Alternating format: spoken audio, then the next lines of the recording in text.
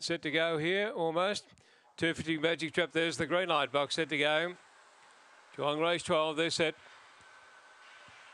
Racing Blackpool Funk on the inside, a little bit slow to begin. Away fast there, Dragonstone. Out of the lead about three lengths in front early. In second spot there came Dynamic Street and up on the inside fence. There came Blackpool Funk. They were followed further back then by DD1. Then came Red Hot Jansen back near the tail of the field there. Uh, would have been as they turned for Red Hot Jansen in the straight though. And Dragonstone, the lead has been going great guns. Dragonstone is too good. Second is Dynamic Street, followed by DD1. Then Red Hot Chance, followed further back then by Blackpool Funk. Further back in the race, there came Huston Manana and Magic Trap on the time, around 22.89.